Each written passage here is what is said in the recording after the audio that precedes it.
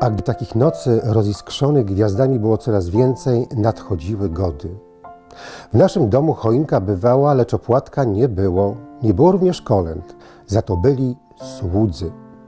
Nadsłuchiwało się ich od zmierzchu, a gdy ktoś zawołał sługi idą, wpadaliśmy w popłoch.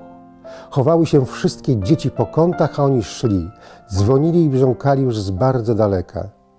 Najpierw wpadał taki na drewnianym koniu na szemelku.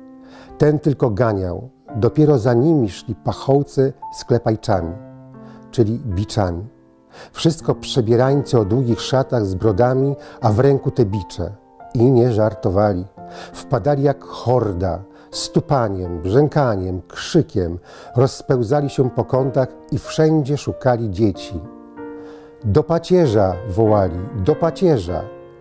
Klękaliśmy czym prędzej i z drżeniem odmawiali swoje Ojcze nasz. Byle gładko poszło, byle bez zająknięcia.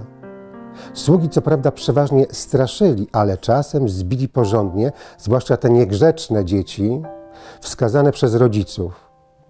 Z samą nocą wigilijną wiąże się na Warmii, podobnie jak w całej Polsce, opowiadanie o zwierzętach mówiących ludzkim głosem. Krąży też powszechnie znana wersja opowiadania o gospodarzu, który podsłuchując rozmowę swoich wołów usłyszał, jak rozmawiał o jego bliskim pogrzebie. Gospodarz tak się miał przejąć tym, co usłyszał, że następnego dnia zmarł. W moich wspomnieniach te gody to nie takie znów święto. Żadnych uczuć radosnych w sercu nie zostawiło. Nie było wigilii, opłatka, kolęd.